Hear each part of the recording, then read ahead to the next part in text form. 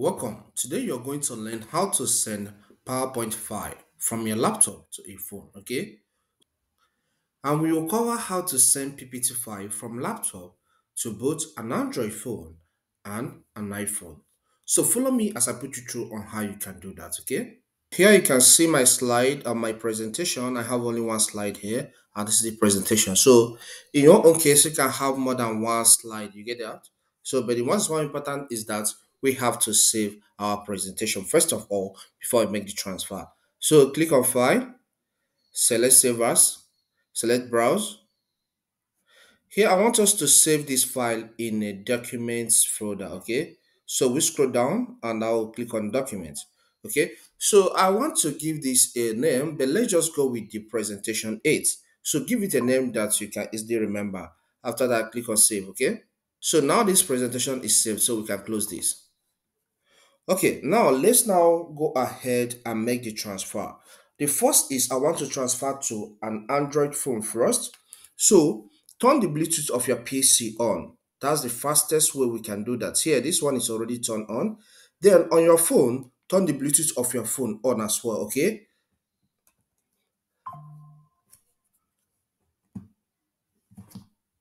After that, click the File Explorer. As the File Explorer opens, click on documents, which is where we save the PowerPoint presentation, okay? Then let's get to that. This is the file, that is presentation A. So click on it for it to be selected. Then right click on it, select show more options, select send to, select Bluetooth device. So this displays the devices you can transfer your file to, okay? And look at the Android phone I want to send to, that is Tecno. So click on it for it to be selected. Click on next. Good. You can hear that sound. So it's, it appears on my Android phone. So tap on accept button.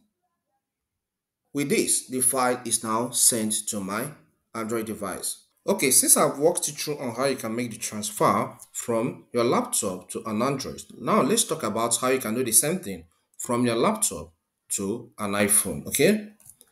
So for you to do that, first is open your Microsoft Store, okay? So click on that.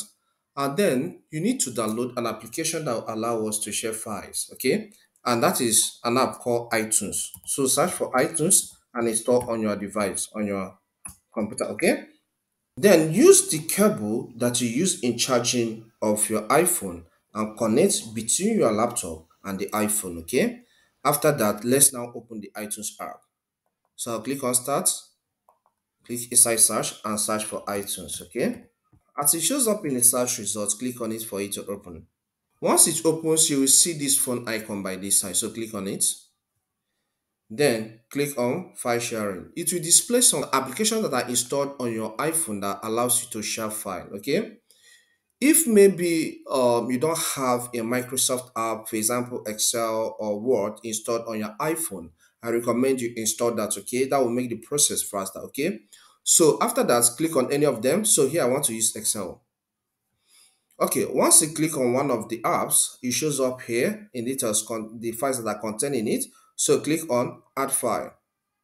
Now our interest is to move the presentation presentation 8, which is PowerPoint file, to our iPhone. Are you getting the point? So if you are landed maybe in another folder, just select documents, which is where I saved my own file, or maybe where you saved it for the folder where you saved your own file. Okay, there's no problem here. Okay, because I saved mine in documents, so that's why I selected the documents folder of my PC.